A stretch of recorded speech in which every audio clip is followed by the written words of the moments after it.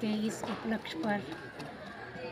आज senior secondary school में स्वतंत्रता दिवस को मनाने के लिए हमारे बीच में हमारे स्वतंत्रता सेनानी स्कूल के बच्चे टीचर सभी यहाँ उपस्थित थे आज मैं स्वतंत्रता दिवस की इन सभी को बहुत बहुत बधाई देती हूँ।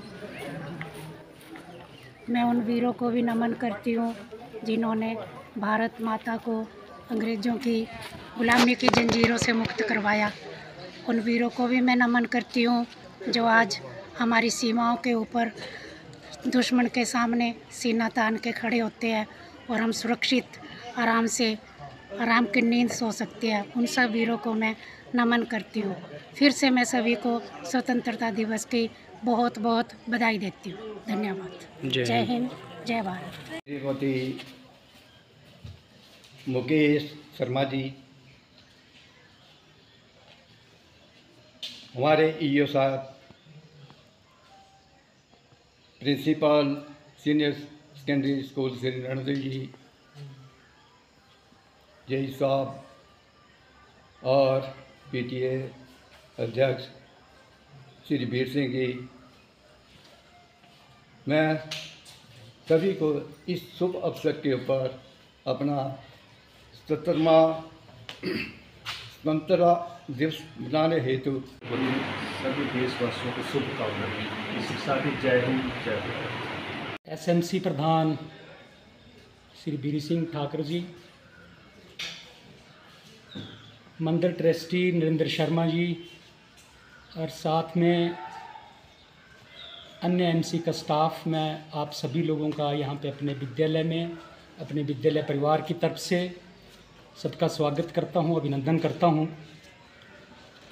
क्योंकि ये एक ऐसा मौका है जो हम बड़े उत्साह से मनाते हैं। इसके लिए मैं बच्चों का भी बहुत धन्यवादी हूँ। में लड़वाने की नीति अपनाई थी।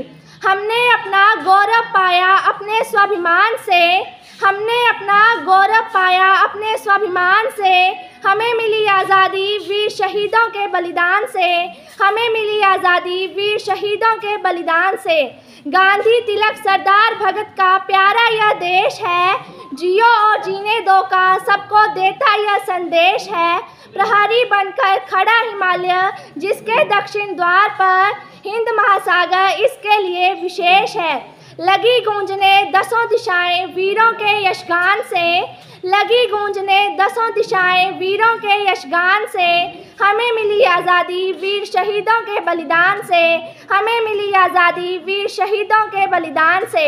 हमें हमारी मात प्राप्त कर ली है तथा आज हमारे देश में फिर भी अशिक्षा, भ्रष्टाचार और बेरोजगारी का सामना करना पड़ रहा है तथा आज हम इस शुभ उपलक्ष्य पर यह प्रण लेते हैं कि हम इन समस्याओं का समाधान करने के लिए हर संभव प्रयास करेंगे तथा अंत में मैं यही कहना चाहूँगी कि हम भारत को सर्वश्रेष्ठ देश बनाने के लिए हर प्रयास, हर संभव प्रयास करेंगे और सीने में जुनून सीने में जुनून और दे, आँखों में देशभक्ति की चमक रखती हूँ। मैं आवाज़ में इतनी धमक रखती हूँ। मैं आवाज़ में इतनी धमक रखती हूँ। धन्यवाद। जय हिंद, जय भारत।